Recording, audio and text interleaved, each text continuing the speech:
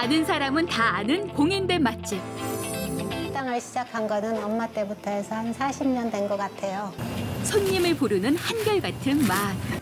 점심 시간만 150만 원 정도 매출이 올라왔죠. 이 집 인기는 다 알아졌는데요. 대통령 후보자 아닌 한국은행 총재님도 오셨다 가셨고 서울의 전자회사 사장님이라든지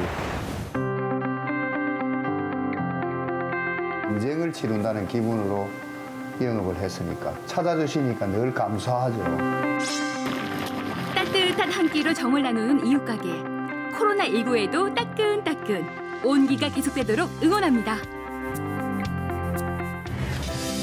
보고 마니아들 사이 유명한 곳.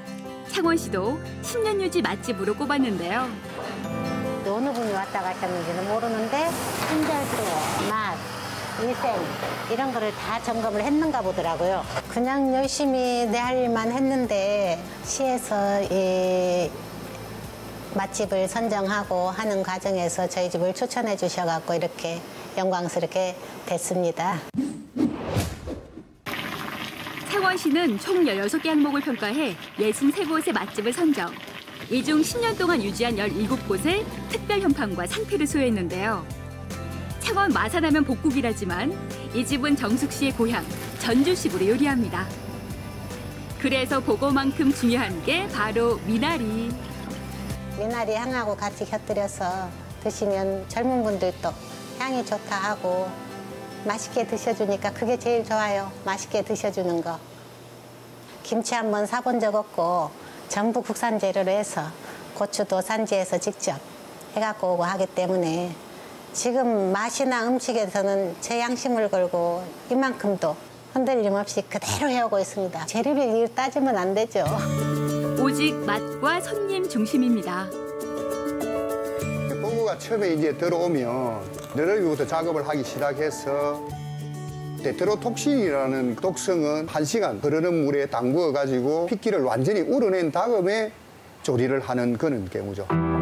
전문 자격증이 필요한 보고 손질은 남편 성근 씨가 담당합니다. 주로 사용하는 까치복. 부산 기장에서 생물로 구입하는데요. 보고 맛으로 최고라는 황복에 지지 않습니다. 점심 시간만 150만 원 정도 매출이 올라왔죠. 그러니까 점심시간 한시간 정도는 완전 전쟁을 치른다는 기분으로 영업을 했으니까. 그 많던 애주가와 미식가는 다 어디로 간다? 코로나19와 함께 찾아온 여유가 낯설기만 한데요. 어, 하루에 그 보거 작업하는 게 키로수로 계산하면 한 20kg 정도를 작업했습니다.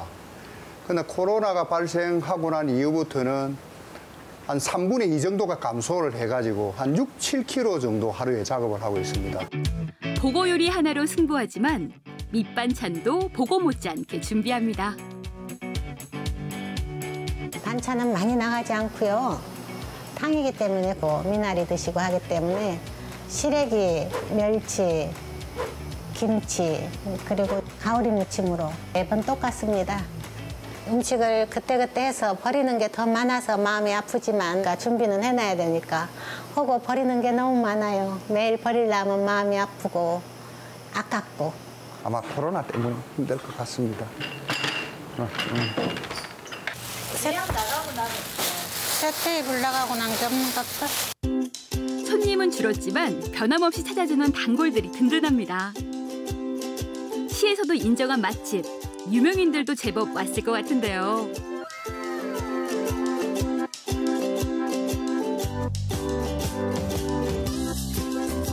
여린 국회의원들은 다수 뭐 얼마 전에는 서른 국회의원님 오셨다 가시고 홍해 선생님도 오시고 뭐 김수희 씨, 혜은이 씨 뭐 이런 분들 본 게 기억이 나고 유명인들이 다녀간 집인데 벽이 한산합니다.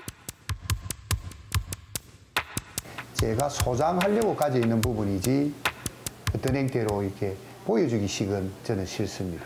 맛으로 승부를 해야지 누구 오셨다 갔다 해가지고 정신만 없고 그런 집보다는 한 분 한분 오시는 분들은 만족해서 가시게 하려고 그걸 노력을 하죠. 맛은 그대로 유지하면서 어떻게 하면 보고 요리를 다양하게 소개할 수 있을까 고민 중인데요. 예전 같지 않으니까 이제 여러 음식을 손님들 한 자리에서 맛보실 수 있게 점심 특선을 지금 생각하고 있습니다. 보고 튀김, 껍질, 복 불고기, 지리탕 이런 식으로 해서 손님들이 한 가지가 아니고 단품 메뉴가 아닌 모두를 드실 수 있게 한번 준비를 해보고 있는 중입니다. 저희뿐만 아니고 소상공인들이 다 힘들겠지만 이제 조금만 참고 기다리면 곧 코로나가 종식될 거니까 저희들도 힘을 내고 다른 소상공인도 힘을 냈으면 좋겠습니다. 찾아주신 분들 정말 고맙고 감사하게 생각하고 있습니다. 10년 유지 맛집을 넘어 100년까지 따끈따끈하게 Okay.